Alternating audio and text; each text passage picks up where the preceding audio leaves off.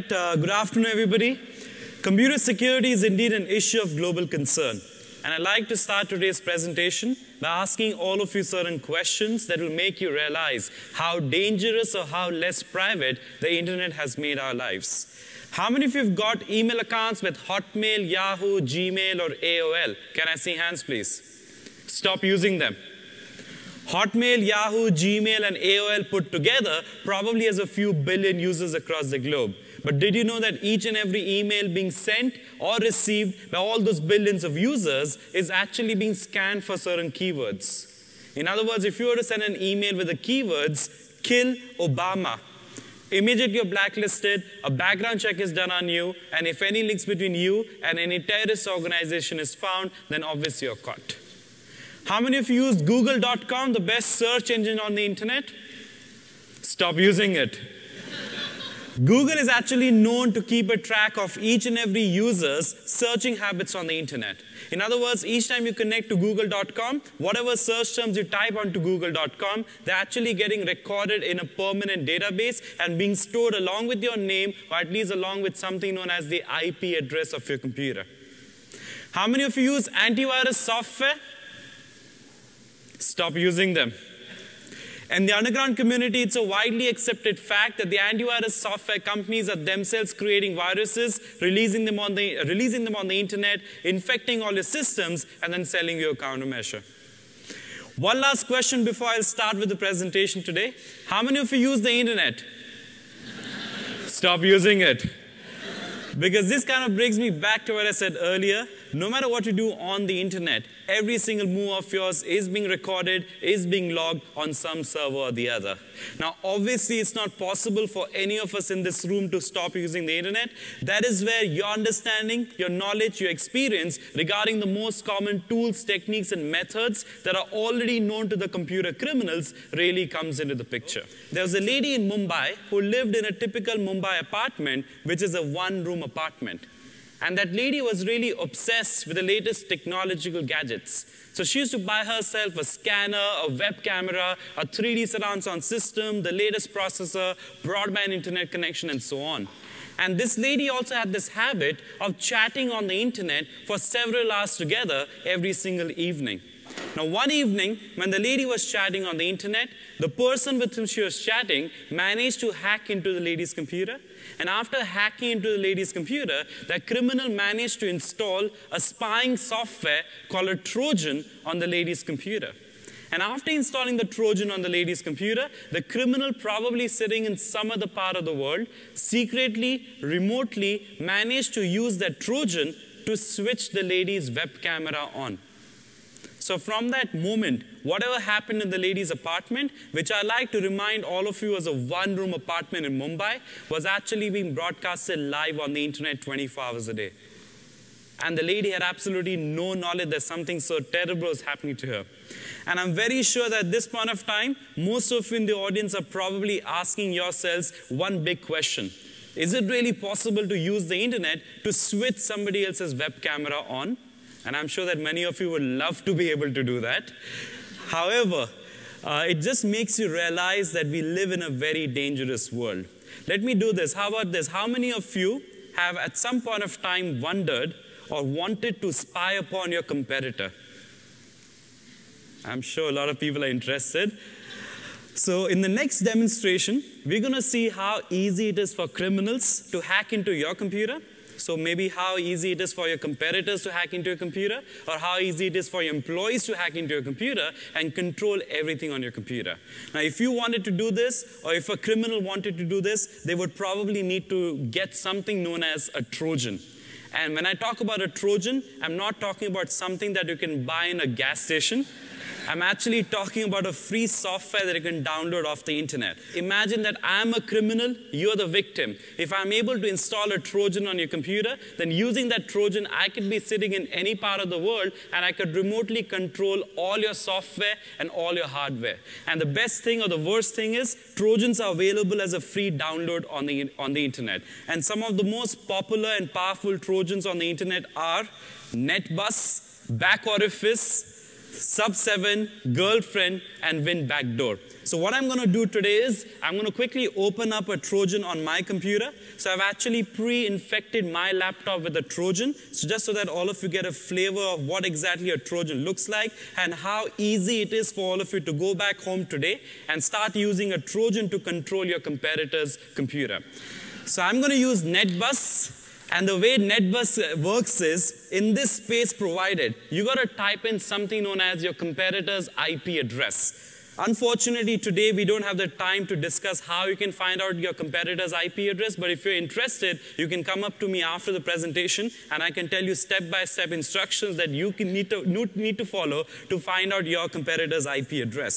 So let's assume that you already have your competitor's IP address. You, you type it in the space provided. You click on connect. And in the status bar, it says connected to the victim's computer.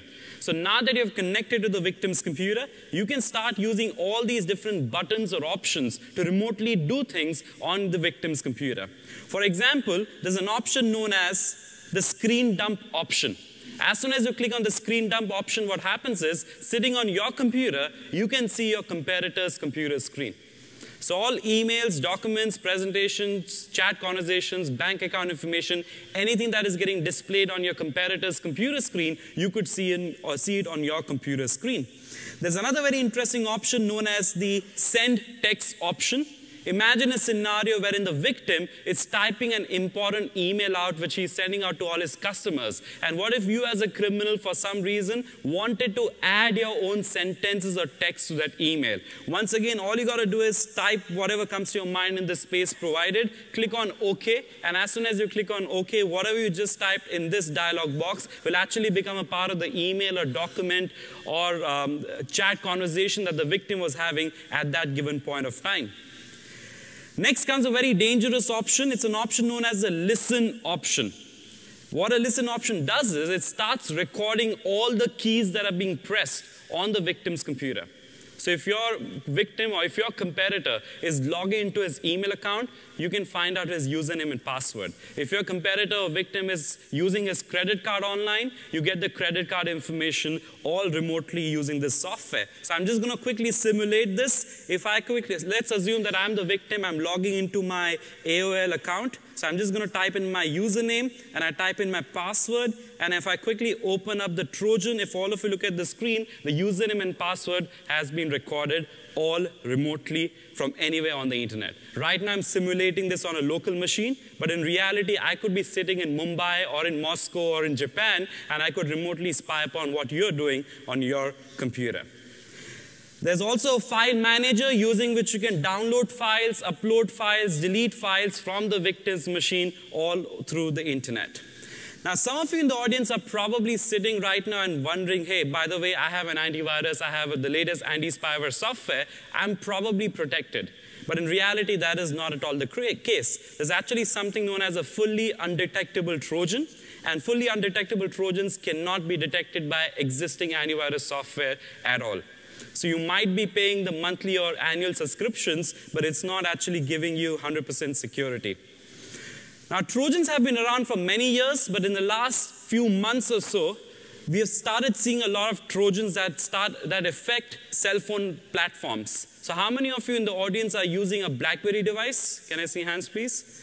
All right, if you're using a BlackBerry device, you might be interested to know that a few months ago, the world's first Trojan for the BlackBerry platform known as the Zeus Trojan was released. And once your phone gets infected with the Zeus Trojan, it is possible for a criminal to spy upon all your text messages, your emails, uh, intercept your phone calls, and of course steal any saved passwords from your BlackBerry phone. Not only that, how many of you are using an Android phone?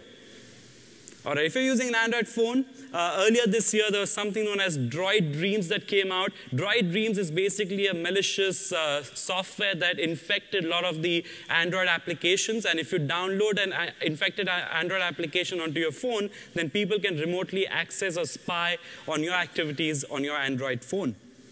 I'm going to quickly move on to the next demonstration of the day, which is of another very interesting technique known as email spoofing. Email spoofing, like the name suggests, is basically the art of being able to send a fake or spoofed email that looks exactly like a real email from somebody else's email account without knowing the password. In other words, imagine a scenario wherein you have a disgruntled employee or you have a competitor who for some reason wants to send a spoofed email from your email account to all your customers, investors, employees globally. And the email will look very real, very authentic. And the best part about email spoofing is absolutely anybody can perform email spoofing by simply starting the browser and connecting to the following website, which is anonymizer.in slash fake hyphen mailer. So let me quickly open up this website. And what I'm going to do today is I'm going to try and send a spoofed email from Bill Gates at Microsoft.com to a friend of mine at Stanford, offering my friend a job with Bill Gates at Microsoft. Now, if I want to do this, all I need to do is quickly fill up this online form. So I type from Bill Gates at Microsoft.com, type the to address, type the subject of the email, and finally in this space provided, I got to type the actual body of the email. So I'm going to type something like, Dear Peter, heard a lot about you from my representatives in LA. Would you like to work as part of my personal technical advisory team. Of course, a seven figure salary will be offered to you. Call me on my cell phone. That's not the real number, stop copying it down. Thanks a ton. Warm regards, Bill. And ironically, a computer hacking website like this is using CAPTCHA so that spammers do not misuse this website. it's just funny how this works. And once you copy these characters down, click on send. A few minutes later, when my friend Peter checks his inbox, he would probably have received an email from Bill Gates at Microsoft.com offering him a job with Bill Gates at Microsoft. Best part is the email looks very real, very authentic, and absolutely best part is when my friend replies to the email, the reply will obviously go back to Bill Gates at Microsoft.com. Now, email spoofing is great, but let's take it to the next level. There's actually something known as SMS spoofing as well. So imagine, imagine receiving a text message or an SMS from your spouse or from your kids or maybe from one of your partners. You'll probably trust it more as compared to an email that you have received from your spouse or, or, from your partner. In fact, there's a website called spranked.com that allows you to send an SMS or text message from any other cell phone number, and it costs probably less than $2 per message. So it's, it's not a lot of money, and at the same time, you can send a spoofed message from absolutely any number of your choice. One last demonstration for the day. Uh, how many of you, when you travel, you use the internet access in hotel rooms? All right, how many of you using the internet access at this venue right now? Excellent. So I'm going to show you a demonstration of a very interesting technique known as data sniffing. Imagine that you're staying in this hotel. I'm also staying in the same hotel. We are obviously uh, staying in different rooms, but you access internet in your room and you think that you're sitting in the privacy of your hotel room. But if I'm on the, in the same hotel, I'm actually on the same network as you are, and I could run a data sniffing software on my laptop in my room, and I can spy upon what activities you're performing on your laptop in your room. So I was actually running this software while the previous two speakers were speaking, and I actually managed to record all the websites that some of you in the audience were actually visiting in the last few, uh, uh in the last hour or so. So some of you logged on to twitter.com, then you have uh, a lot of Twitter, then what is my IP address.com, somebody accessed Google, Expedia, probably checking into one of your flights or rebooking your flight. So these are websites that I obviously did not open on my laptop. These are websites that some of you in the audience actually opened up.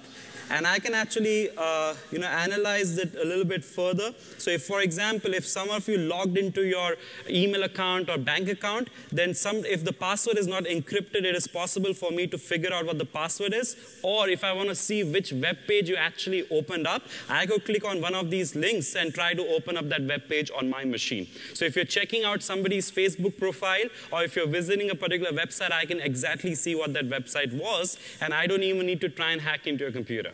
As long as I'm on the same network as you, all your usernames, passwords, credit card numbers, emails, any kind of communication that you're doing on a public network, unless it's SSL encrypted, it is not at all secure. So I'm going to quickly switch over and give you simple solutions that all of you need to implement to improve your security. This is obviously a very, very brief overview on the various techniques that are used by criminals to hack into your computer. So two or three simple things that everybody must do to improve their security. First of all, you must install a firewall on your computer. Most people think that firewalls are only meant for, uh, meant for big organizations or big companies, but in reality, even on your home machine, you need to install a firewall, and I would recommend using Zone Alarm. It's free for home users, and it does a very good job. You must use an antivirus software on your, on your computer. I think most of you are probably already using an antivirus software, but what's more important is you got to update it on a weekly basis. I would also recommend using an anti-spyware software along with your antivirus software. Most people only use an antivirus software, but you probably need both running on your computer simultaneously. And the most important solution or countermeasure that I would like to recommend to all of you is to actually attend my workshop tomorrow morning, where I'm going to give you a bunch of live hacking demonstrations uh, which show you how easy it is for criminals to hack into your cell phones, into your email accounts, crack absolutely any kind of password, how to, how to hack into ATM machines, how to hack into digital road signs, and of course, how you can protect yourself and your organization against all these cybersecurity threats. So on that note, thanks a lot, everybody. I hope all of you enjoyed the presentation.